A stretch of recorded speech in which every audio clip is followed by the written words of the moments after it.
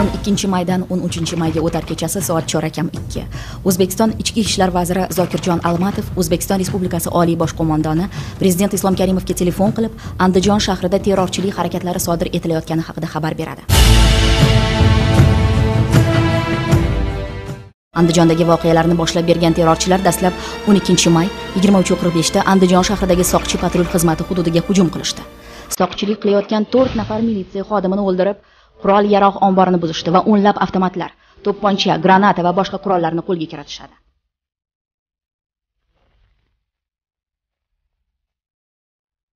Oradan bir soatlar o'tgach qurollarni ko'paytirib saflarini kengaytirib olgan jinoyatchilar to'dasi respublika mudofaa vazirligiga qarashli 34 harbiy qism hududida paydo bo'ladi. Bu yerda ham jinoyatchilar tomonidan 4-5 soqchi o'ldirilib ko'plab qurol yarog'lar o'g'irlanadi.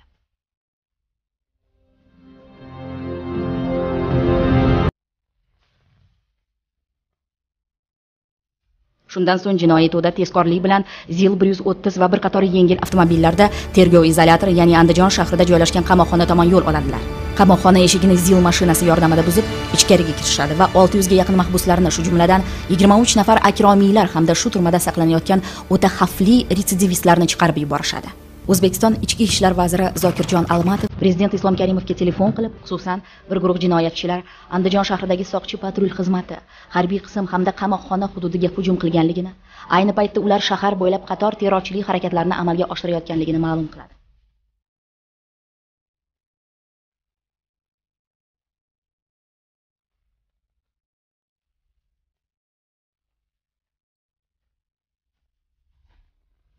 O'n uchinchi may ertalab soat 7 prezident islom karimov o'tirgan samolyot toshkentdan andijonga uchib ketdi soat yettiyu o'ttiz andijonga yetib kelgan prezident karimov zudlik bilan shtab tuzdi avvalambor shular bilan maslahat qilib ular bilan bamaslahat chora tadbirlarni ko'zda tutib undan keyin shu chora tadbirlarni amalga oshirishga kirishishni aytaylik ma'qul topdim buni juda katta urg'u berib shu haqida aytmoqchiman shaharda kim yashaydi? Xalq yashaydi.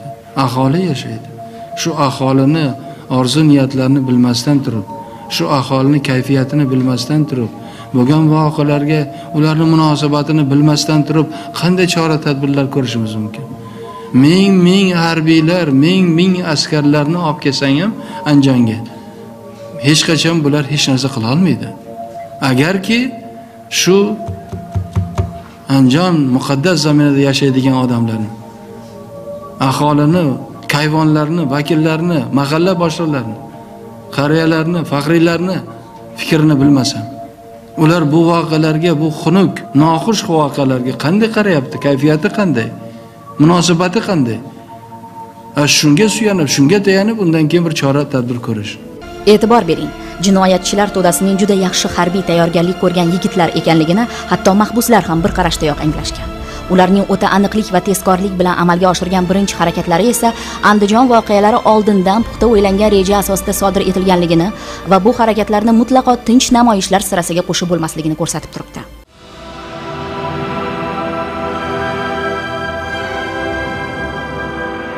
Andijon voqealarini sodir etganlar o'sha kunlari o'z xatti harakatlarini 23 nafar akromiylarni nohaq qamashgani uchun bosh ko'tardik deb baholashga urinadi.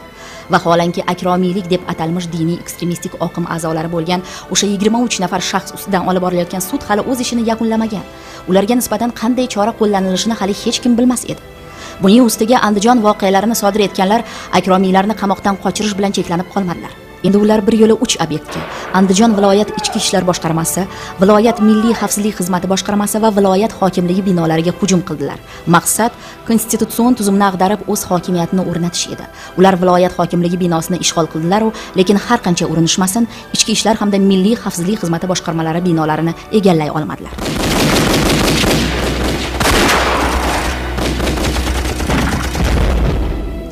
Ichki ishlar hamda milliy xavfsizlik xizmati boshqarmalari binolarida niyatiga yetolmagan alamzada terrorchilar shahar bo'ylab vahshiylik va vayronkorlik harakatlarini amalga oshira boshladi. Yo'rig'iga yurmagan odamlarni urdilar mashinalarni yoqdilar.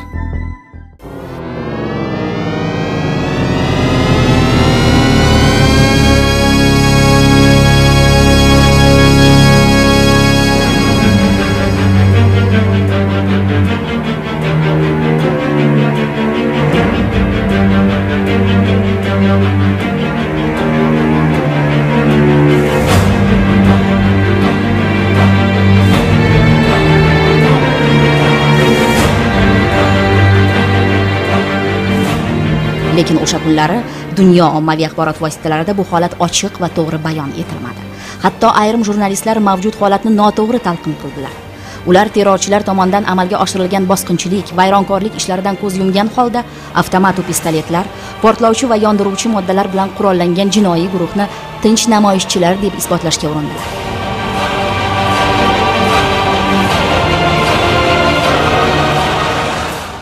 Bbc xodimlari ham bizni videoga olganda ko'rishdi qanaqangi bir qiyin ahvoldaligimizni. Ular bizni shaxsimiz bilan yo bizni ahvolimiz bilan qiziqmasdan ana shu terrorchilarni manfaatlarini himoya qilish maqsadida uchinchi etajga chiqib ketishdi. Ularni qanaqangi bir muxbir yo bir jurnalist deb atash mumkinki oldida insoniyat azob chekib qiynalib o'tiribdiyu ularni ko'rsatishdi o'rniga qayda yo bir bo'xton bir gap so'zlarni uchinchi etajdan kameraga olib yozib turib efirga berishi bu umuman bir aqlga sig'maydigan narsa deb o'ylayman.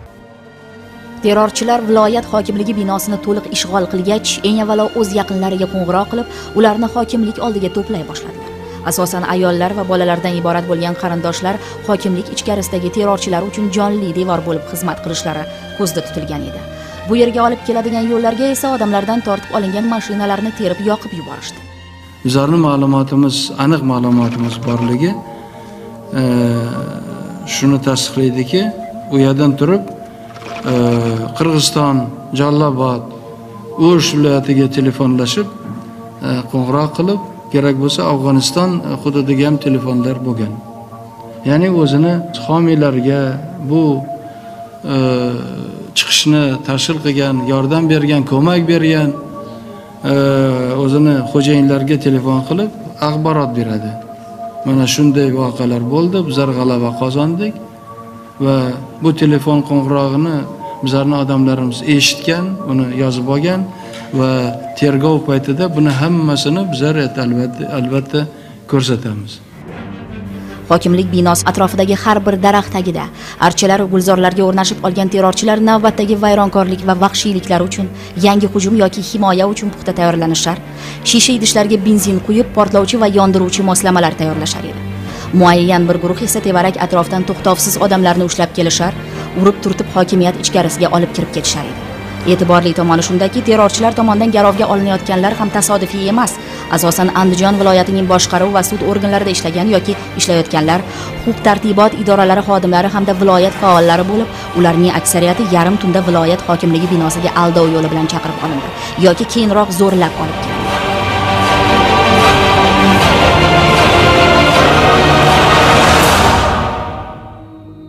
Qo'lga olinganlar shunchaki garovda ushlab turilgani yo'q. Aksincha ularning boshiga terrorchilar ko'z ko'rib quloq eshitmagan azoblarni soldilar.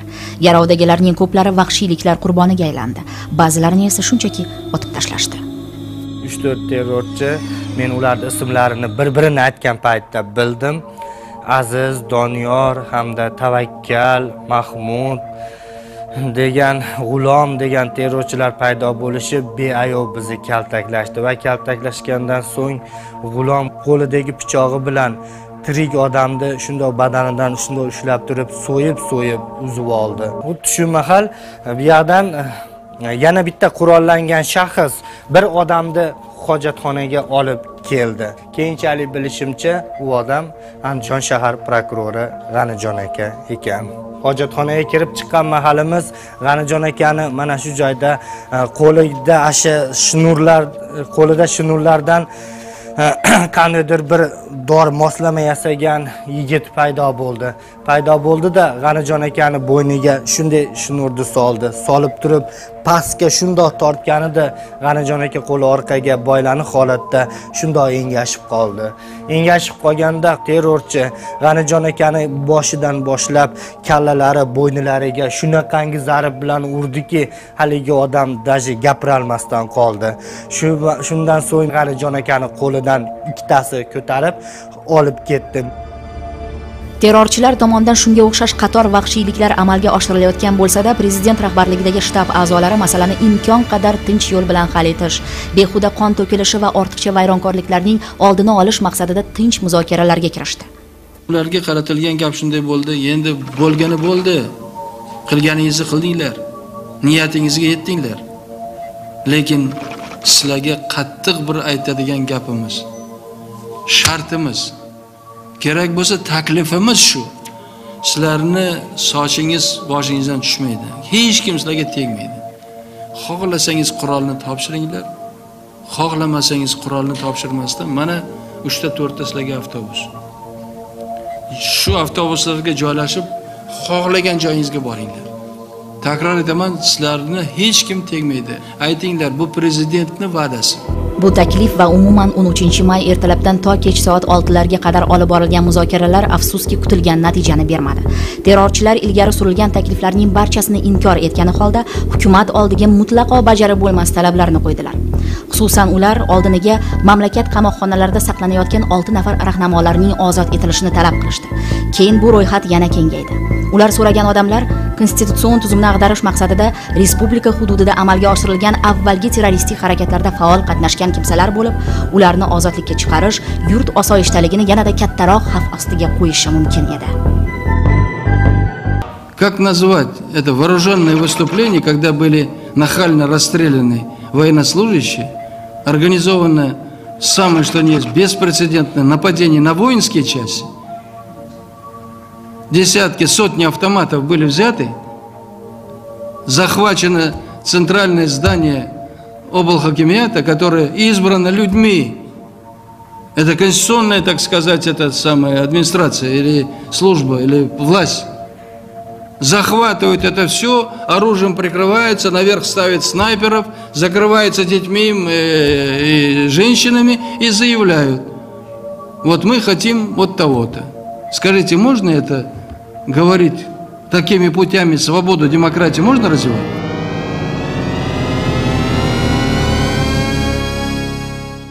Разумеется, мы такие требования, нахальные требования не могли согласиться. Я хочу объяснить, почему вам, журналистам, подробно это говорю, чтобы вы потом не занимались инсинуациями. Здраво рассудив, решили, что этот прецедент может привести к тому, что завтра будут десятки таких захватов по всей территории Узбекистана. Завтра захватят детский сад, завтра захватят школу, завтра захватят больницу, как это имело место в Чечне, вы хорошо знаете, Буденовске, по-моему, это было. И потребуют опять те же условия.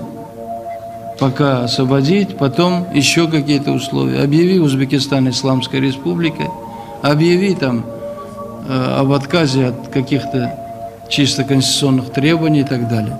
Это абсолютно не исключено.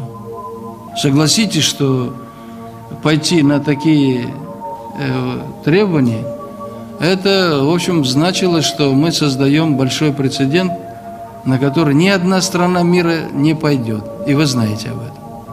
Masalani tinch yo'l bilan hal etish haqidagi takliflarning birortasi ham terrorchilar tomonidan qabul qilinmagach 13 may kech soat 6 lar atrofida hukumat kuchlari asta sekin viloyat hokimligi binosini qurshovga ola boshladilar.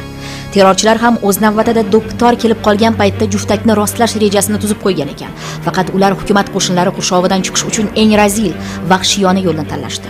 Ular jonli devorlar ortiga qo'l oyog'i bog'langan asirlar bolalar va keksalar xotinlar ortiga berkingan holda hokimiyat binosidan chiqdi.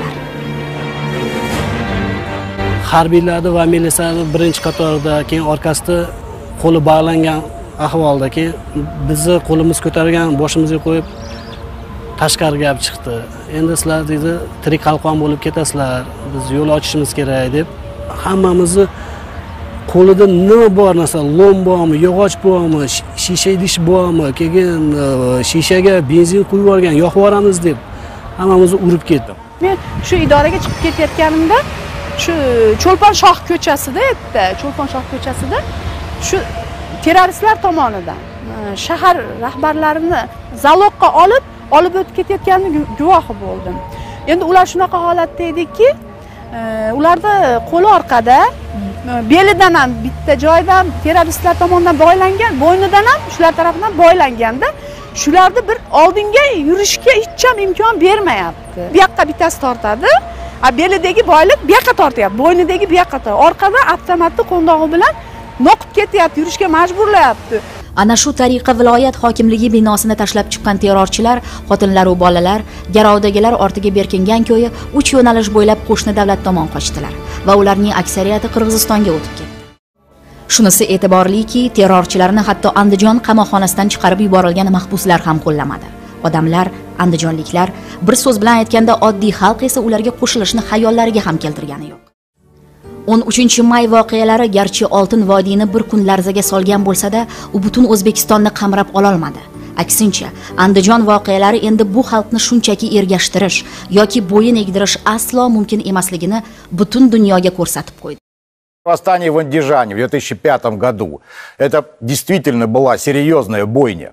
Но только прежде чем власти начали подавлять это восстание, мятежники захватили воинскую часть, тюрьму, освободив преступников, отделение госбезопасности, добыли сотни единиц оружия, взяли заложников, местных чиновников, а потом начали их убивать. Это был узбекский Майдан. Ислам Каримов его жестко подавил. Но в чем причина мятежа?